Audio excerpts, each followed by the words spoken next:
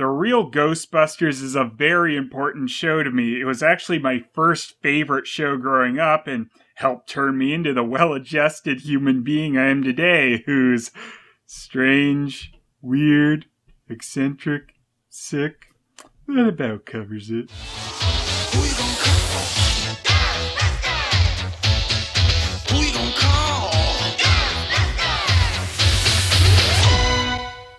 Having watched through this entire series again, it really stood out to me how well written it was at first, and it really made me glad I had shows like this while growing up. The real Ghostbusters can be separated into two parts the original high quality part and the post ABC interference part. So, first off, I want to talk about the version of the show that made me such a huge Ghostbusters fan. Yes, I was a fan of this series before the movie, even. Probably had a little to do with the fact I'd seen real Ghostbusters first. Also, I was three and probably more into cartoons at the time. And that's, of course, not to say that the real Ghostbusters is inferior to the films. It's not. It actually stands the test of time very well because of the writing.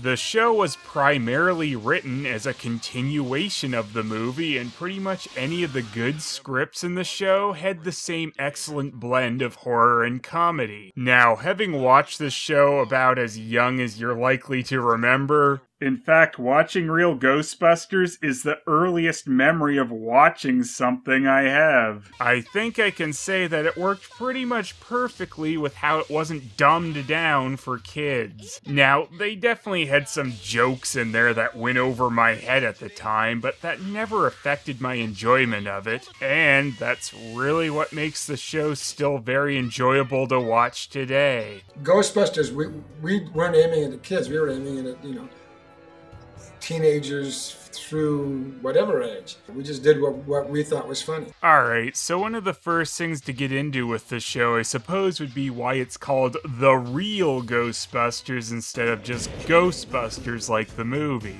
This actually goes back to 1975 when Filmation made a live action series called The Ghostbusters, which actually almost caused the Ghostbusters film to have to be called something else. Columbia suggested we change it.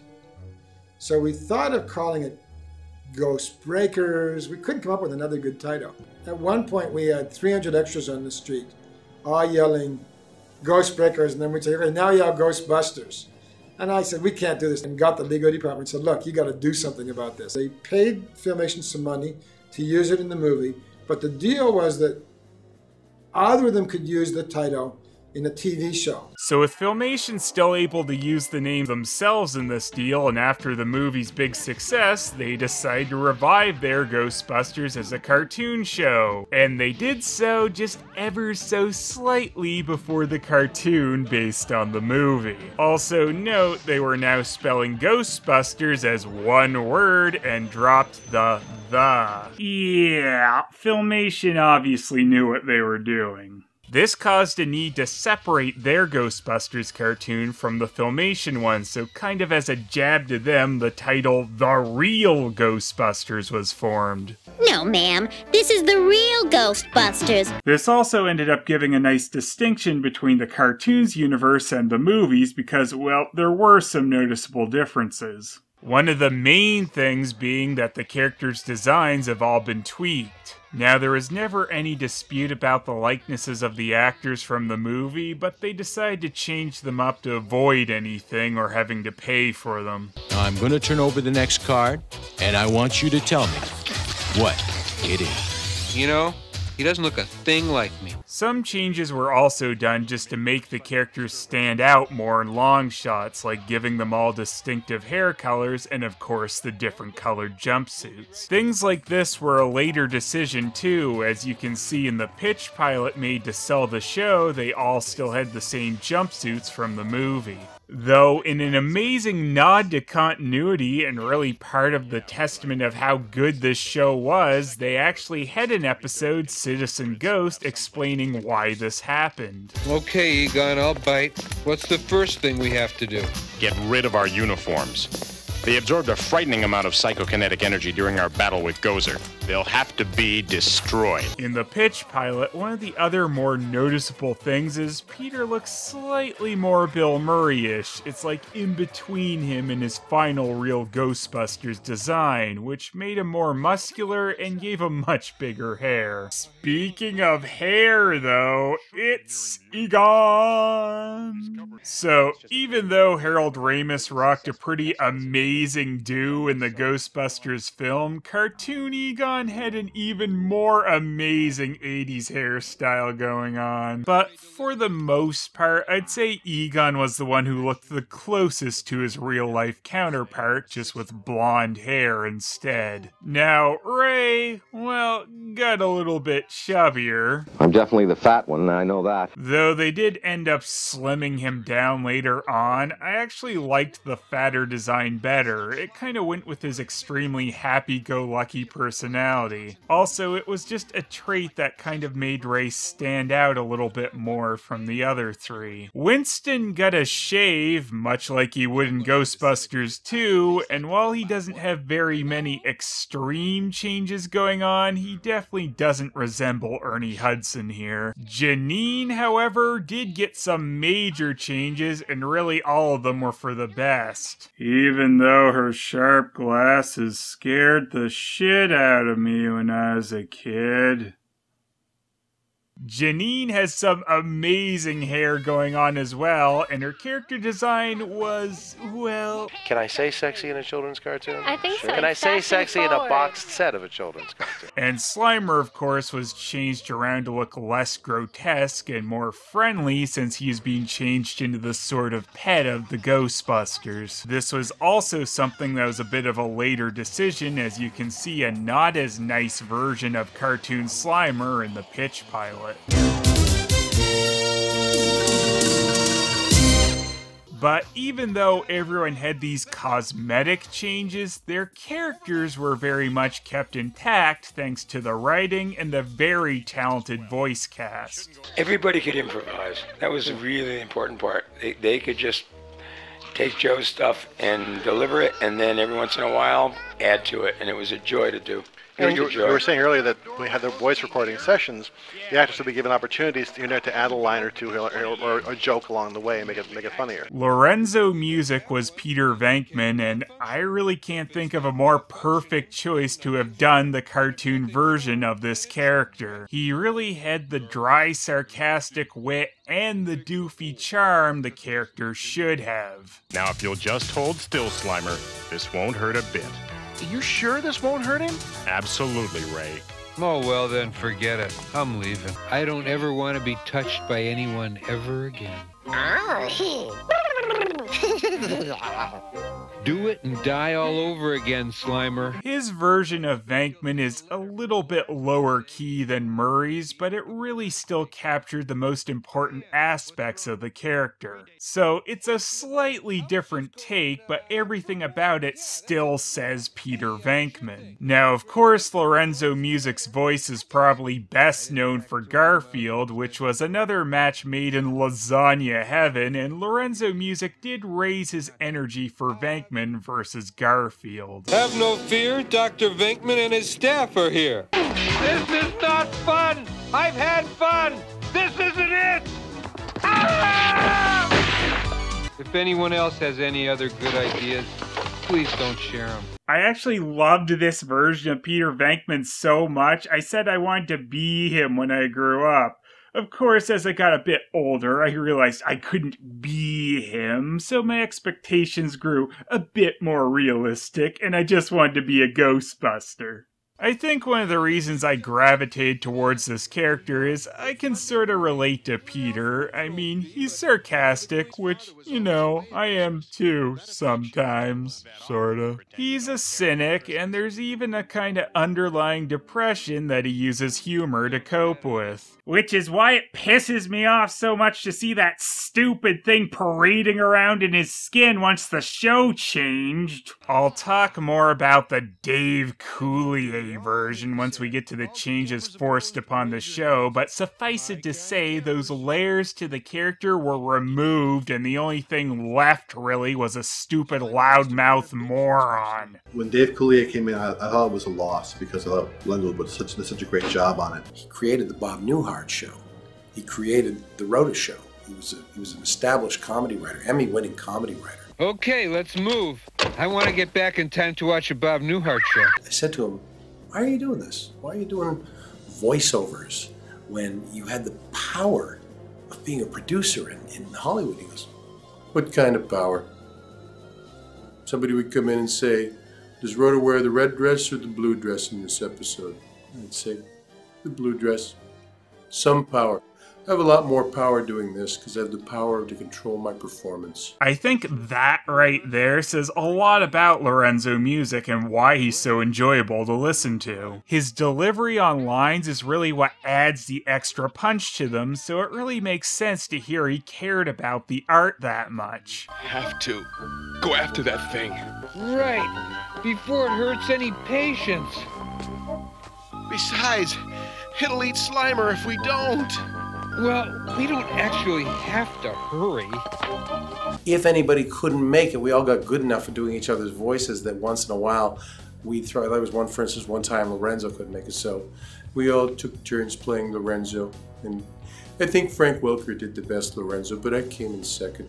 And that was okay. Well, personally, I like Maurice LaMarche's Lorenzo a little bit more than Frank's based on the Garfield show, but still, it's kind of hard hearing anyone else do Garfield's voice. However, Maurice LaMarche and Frank Welker are probably the best in the world at pulling it off. Now, as for Egon, I really can't imagine anyone other than Maurice LaMarche voicing him. He's probably the only other person in the world besides Harold Ramis who would really nail this character. Maurice LaMarche just really seems to get what makes Egon tick, which is part of what makes him so good at playing the character. An afternoon at the ballpark would do you some good. Yeah, like fungus on the brain would do me good. Did somebody mention fungus? Egon, what now? As long as we don't disappear, we'll be all right. Nuts. And while I loved Harold Ramis's take on the character too, I mean, of course, he originated it, I think I like Maurice LaMarche's Egon just a little bit more. The Ghostbusters ride. Egon, can they do that? I think our trademark is being infringed. Look! Well, I've seen enough. They said, stay away from impressions. Whatever you do, no impressions, okay? My background was stand up comedy and as an impressionist. Uh, so I sat there going, you know, it's like telling me, you know, telling, telling me not to breathe, uh, you know, to not do an impression. And I could not see any other way to do Egon except for doing Ramis. It really is hard to imagine Egon being performed in a very different fashion than Ramis's, so whatever their deal was against impressions is probably lucky for the show that Maurice LaMarche decided to just do it anyway. Oh, Egon, you're such a genius. Yes, I know. Maurice LaMarche really is one of the most talented voiceover artists and impressionists in the business, so he got to do a lot of other characters in the show as well, and you usually didn't know they were him. It was not unusual for Frank and I, being the multiple voice guys, uh, to, to play you know, five characters each, six characters each. The show really was lucky to have two voice actors in the main cast that were so good at additional voices like this, as they did tend to use them for it quite a bit. One of the kind of unfortunate reasons for this being, though, at the time, they didn't actually have to pay them anything extra for a couple additional voices. Now, one of the great things about the Real Ghostbusters show is it's able to expand certain things that were starred in the movie, like like when they hinted at a relationship between Egon and Janine. It was always great having Janine's affection played off the very deadpan Egon, and they even went on some dates during the show. The show's over, so I can confess my feelings to you. Did you really feel that way? I I felt deeply, deeply affectionate towards you. I knew Can't it. you tell? Yeah. I'm feeling deep affection right now. So, this made it feel particularly wrong when they had the Janine and Lewis thing going on during the second movie. A lot of the time with Egon was even though he'd be very flat in his delivery about a lot of events, it wasn't that he didn't feel emotion, it's just that he didn't express it a lot. I just want you to know that I'm having a wonderful time. It didn't come across as deadpan as it should, but in the studio when we did it, you know, Arsenio, uh, as, as Winston goes, Egon, you enjoying yourself? And I, I would go, I'm having a wonderful time. And I was so deadpan, we both cracked up because the idea behind that is he's telling the truth. This is him having a wonderful time. Maurice LaMarche was the one who stayed with the series the longest, voicing Egon all the way to Extreme Ghostbusters. The one who stayed the second longest and the only other main cast member to stay during the whole Real Ghostbusters run was Frank Welker as Ray Stantz. And he really captured the over-eager enthusiasm of the character. This is great! We've got a classic haunting here. It's like the whole place itself is becoming evil, coming alive. Boy, this is great! I love a man who enjoys his work. Ray helped to balance things out with his positive attitude against the other guy's cynicism or even just lighten up someone's more realistic look at the situations. And even though he was the fun loving character of the group, he is also the second smartest next to Egon. Oh no, now what's wrong? What are we gonna do, Ray? We're gonna fix it.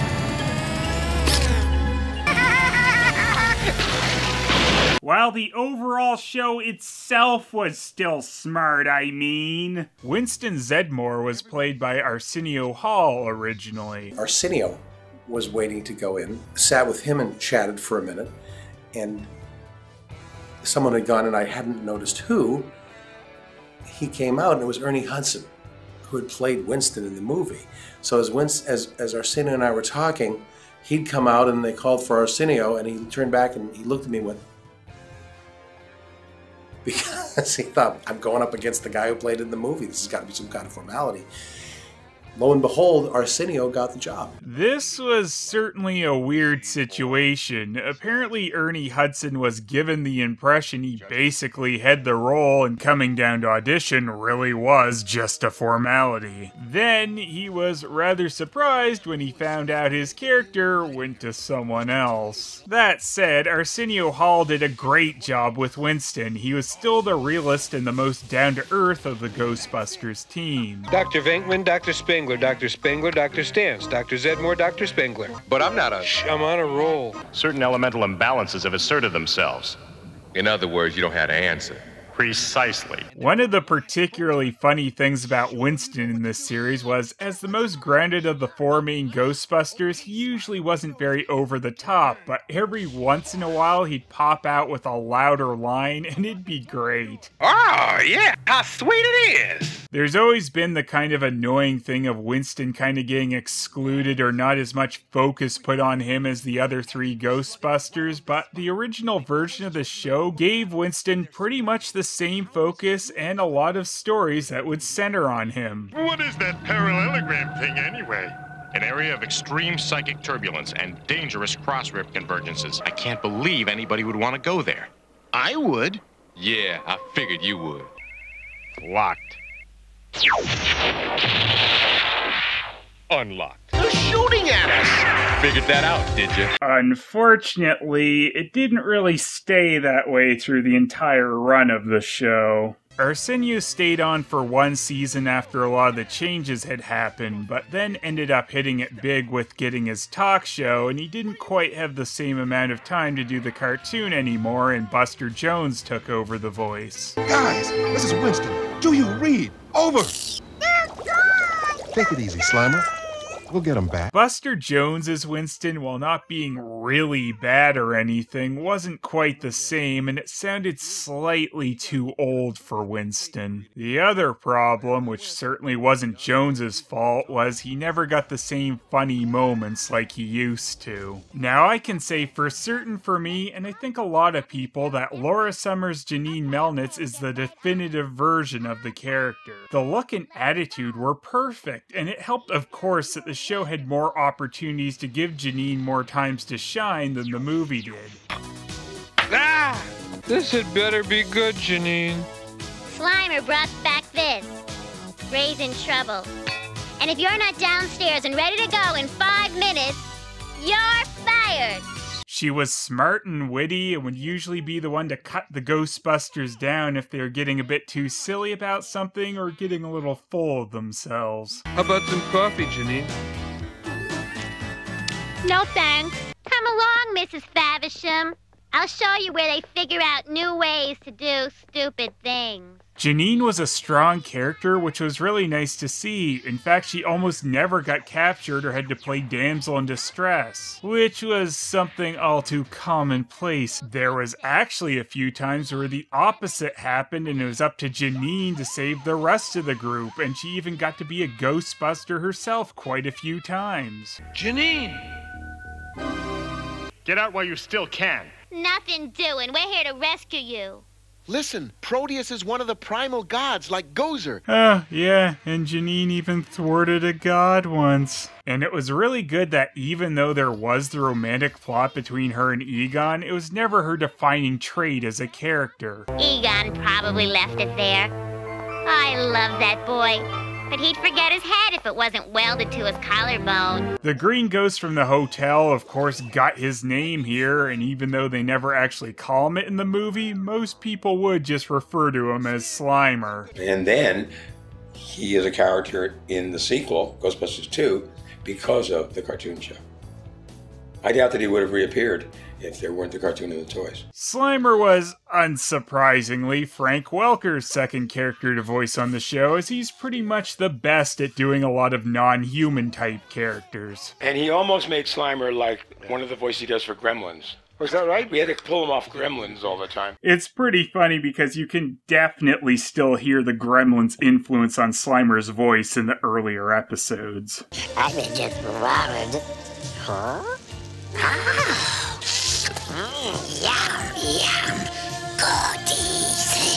The cartoon even explained the path from him terrorizing at the hotel to him ending up as their kind of pet. After the containment unit was shut down and all the ghosts blew out, and after the battle with Gozer, Slimer started hanging around the firehouse. And Egon, wanting to examine a more willing ghost subject up close, wanted to keep him around. Now, Slimer's main thing, of course, is that he loves eating or sliming Peter, which of course led to conflict with him.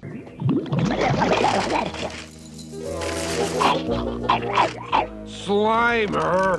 Peter, wait! Just let me blast them once! Is that really too much to ask? It was this conflict with Peter that really made the Slimer scenes work. And then you'd have this angrier reaction towards Slimer offset by someone like Ray or Janine's kinder attitude towards him. Whoa, Peter, take it easy. I'll discipline Slimer. For shame, Slimer. You've been a naughty ghosty. And even though Peter was constantly threatening to bust him, they still showed he did care about Slimer once in a while without overdoing it and just turning him into another Ray. Surrender your weapons, or I shall be forced to do something unfortunate to your friend. Nobody picks on the spud but me, got it? When you write a show with a guy named Slimer, there are times you want to just hit him really, really hard a lot because you can, essentially. And I thought, wouldn't it be fun to send him out into the world, have him get a job, do something worthwhile with his life or his death, as you wish, and put him in a situation where I can just beat the bejesus out of him endlessly. So my joy was his grief. Slimer usually just spouted nonsense, but with a few words sprinkled in so you got the gist. Well, in the original version, later he just wouldn't shut up. But originally, this made it funny when either Ray or Janine would manage to understand him. Well,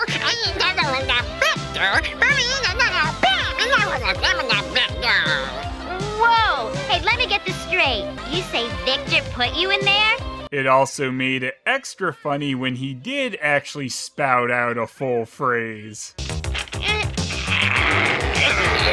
Eh.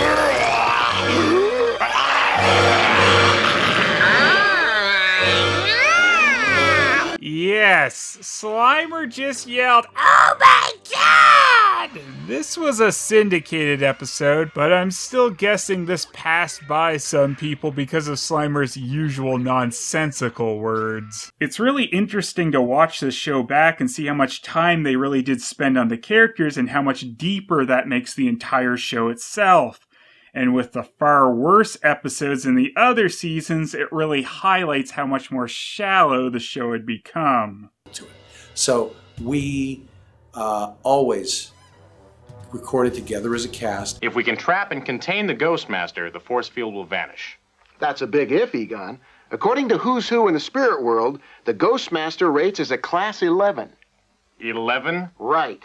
Even if we could use our traps and throwers, we can never hold him. Hey, Egon!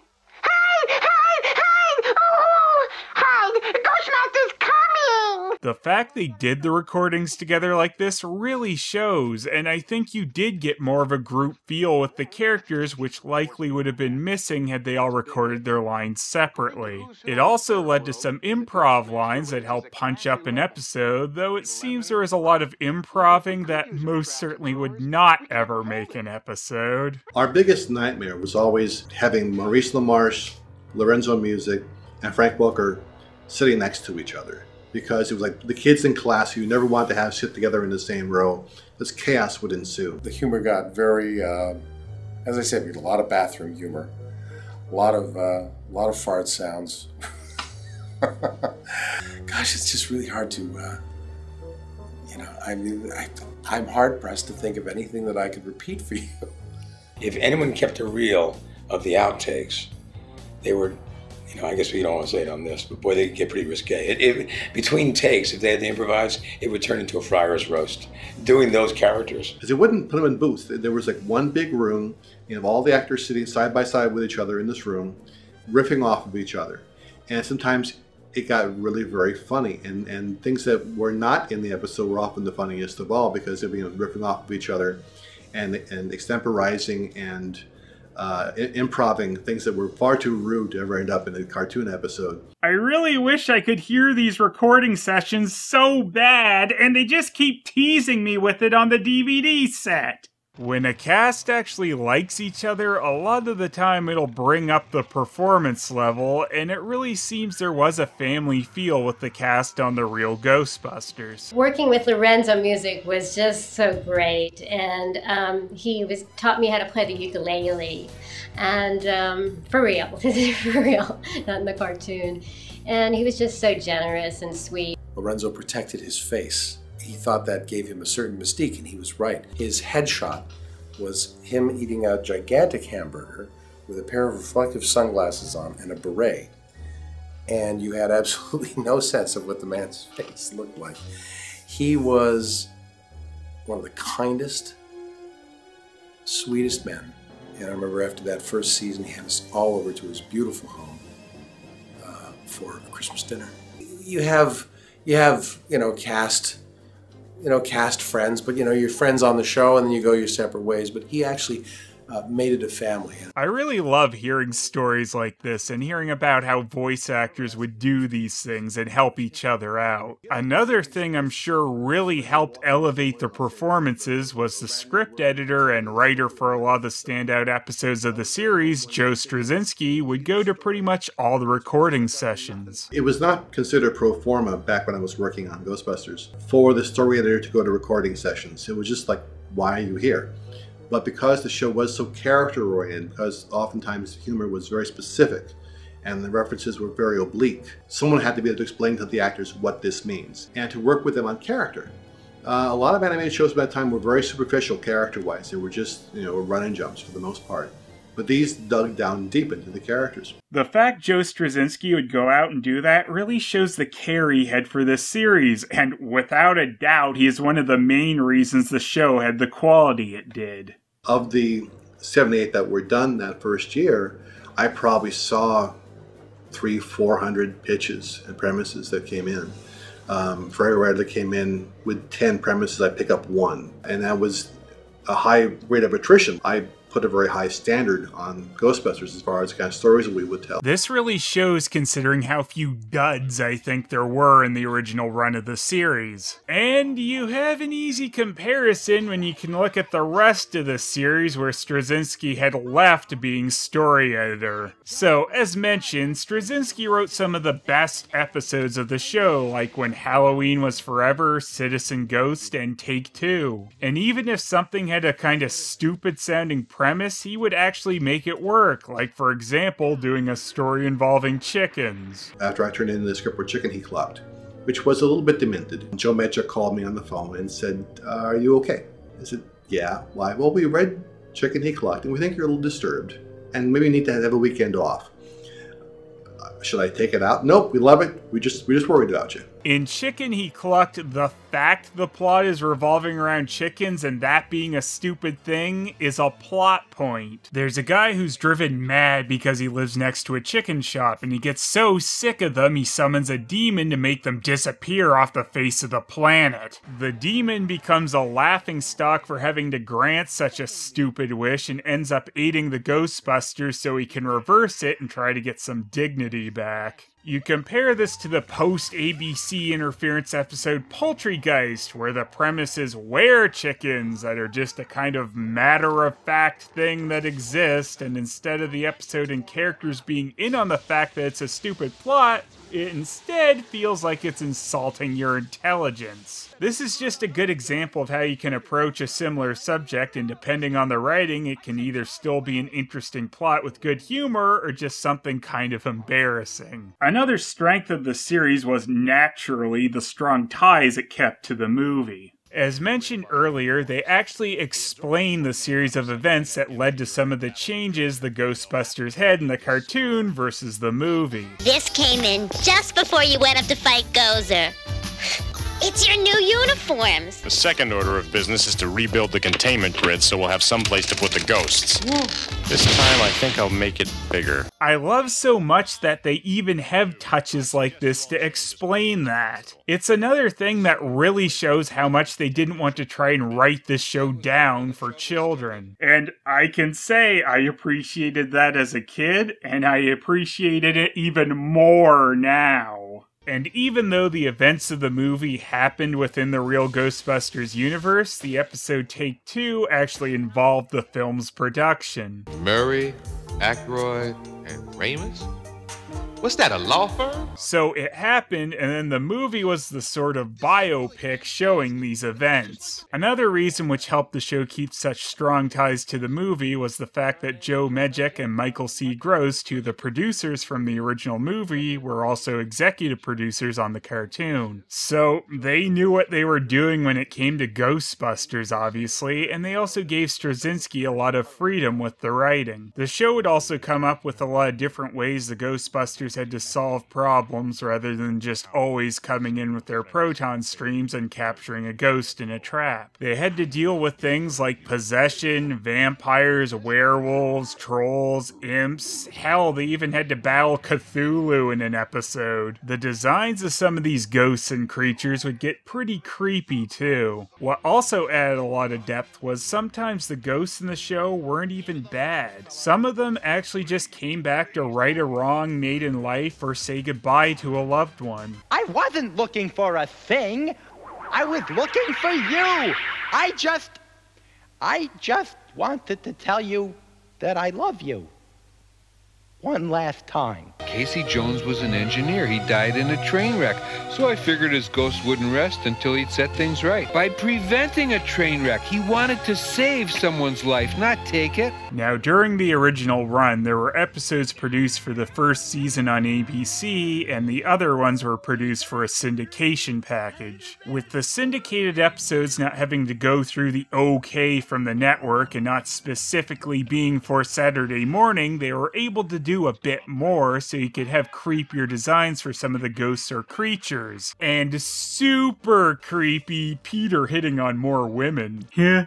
Definitely too extreme for Saturday mornings. The primary difference between the two was the presence of broadcast standards and practices, or BS&P, or just BS. I'm just really, really thankful there was also the syndicated package because I can't imagine if we had only had the one ABC season of good episodes because that was only 13 of them. They made a whopping 65 for syndication, giving the series 78 quality episodes versus the 62 post ABC interference ones. It made it so there were still good episodes playing well after the changes that happened to the show, which made them easier to ignore since you could always get to flip back to the quality ones. Not saying I didn't notice because I did, and it made me sad. I always hated the wrong sounding Peter episodes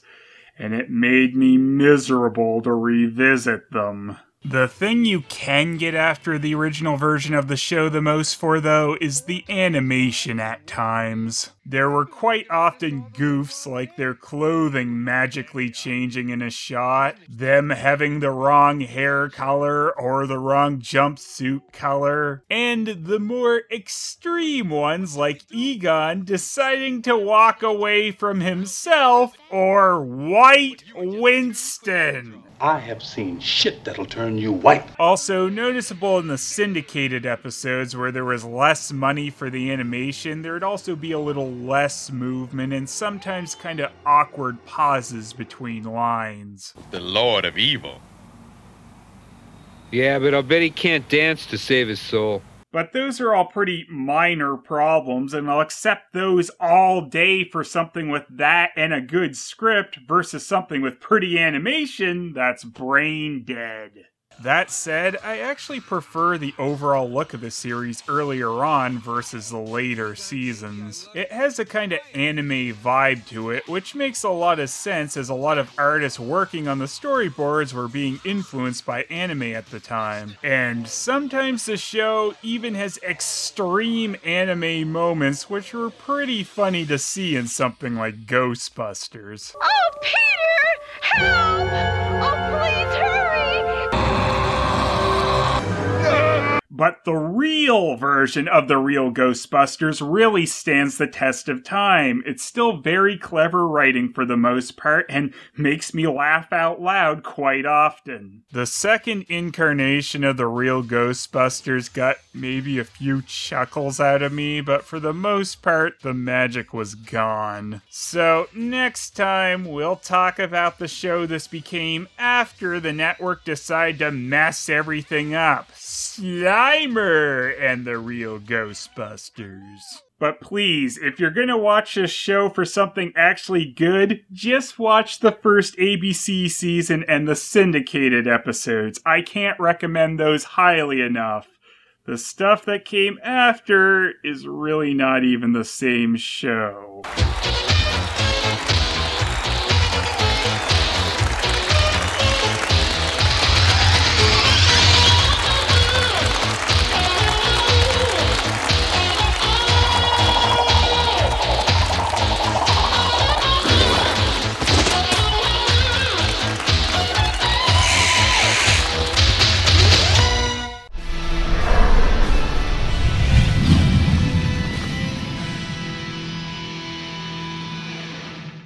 Isn't it a bit strange for a bunch of Ghostbusters to have a ghost living with them?